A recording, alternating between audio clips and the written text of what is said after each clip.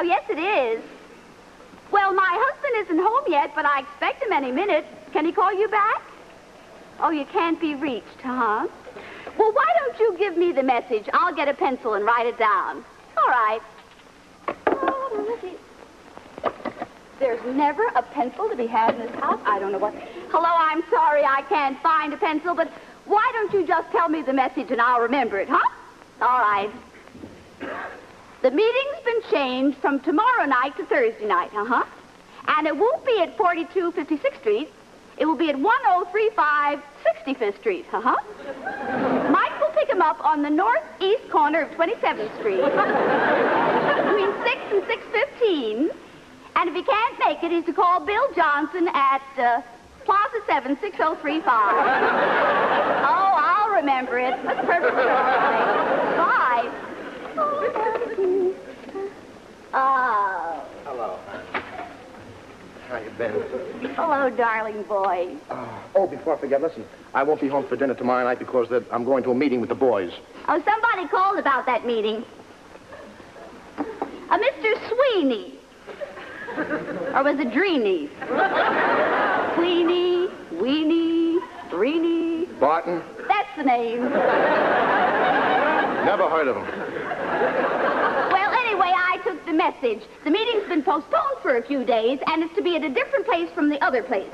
And you're to pick up somebody on some corner at some time, and if you can't make it, you're to call somebody at Plaza something.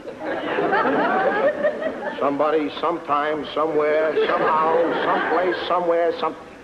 Thanks for a perfect message. now I can get there blindfolded. Listen, why can't you get a message straight? I mean, no, not all those calls are about my lodge meeting. I mean, some of those calls are about business. Why don't you get your business calls at the office? Well, I do sometimes, but sometimes people call before the business hours. Sometimes they call after business hours. So if they do, I tell them to call my home. So why can't you get a message straight? That's all I have to do. I don't do any cleaning or washing or cooking. I just sit around and loaf all day. So the least you can do is take a message. Look, it's very simple. When, when the phone rings, go to the go to the phone with a pencil and paper.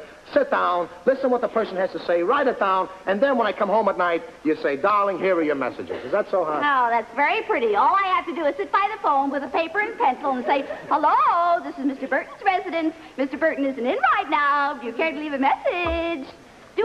Do I look like your secretary?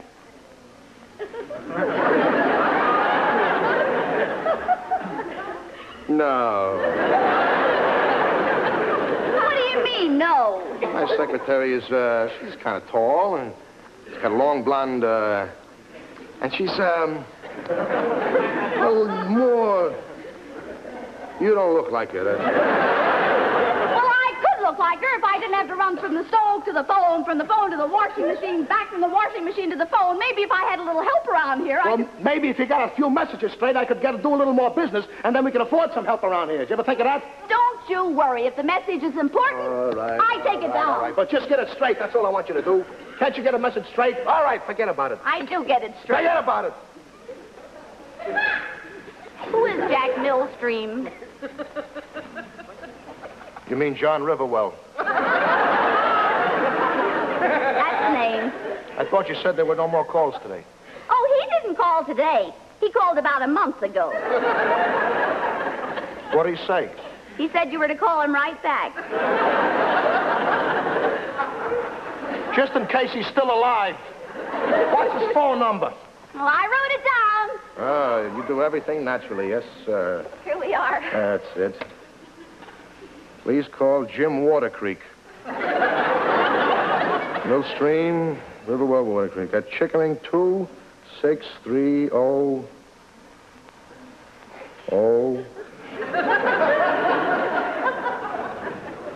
Oh, what? There wasn't any room to write down the other number. I... See what I mean? That, that was one of my business calls. You understand? That was one of my business calls, and that shows me just, uh, shows me just how much you think of me. My secretary thinks more of me than you do. Oh, she does. Well, let me ask you, who darns your shirts? Who darns your socks? Who takes care of you when you're ill? My mother. Well, your mother never got a message straight. What? My mother? When did my mother get a message straight? When we had that quarrel. Which one? During our engagement. Which one? The big one. Oh, yeah? I called her up and I said I needed you like a hole in the head. So she tells you I have a hole in the head and I need you.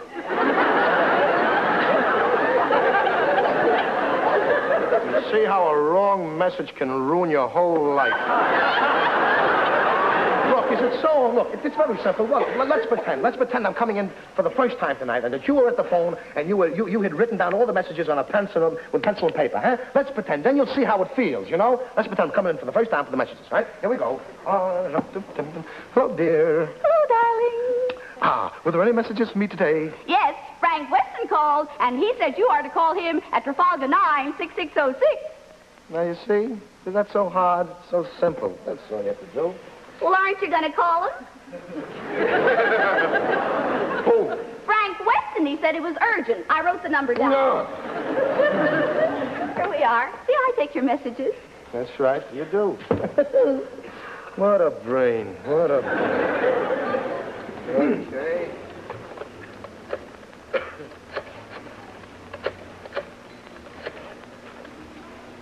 Hello, Frank?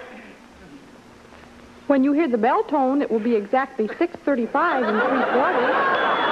When you hear the bell tone, it will be exactly 6.36. That's the number he gave me. Let's get rid of the phone. We gotta get rid of the phone, you hear? We gotta get rid of it. Well, if you Get rid of the rid of the phone, how can I take your messages down? Never mind with the messages anymore. No more phone. That's all. It goes out of the house tomorrow. Finished. Once and for all. That's all. Oh. Can they take away your car? Nobody can take away my car unless they steal it. Or unless the finance company is um, a little, little back in the payments. Or they'll- but before they take their car, they'll send a few letters, and then they'll call, and then...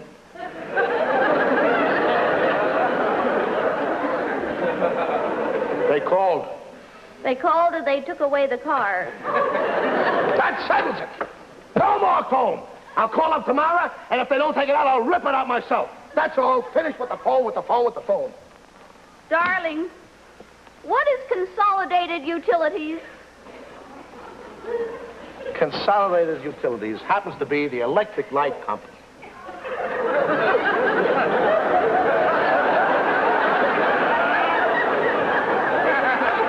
they called.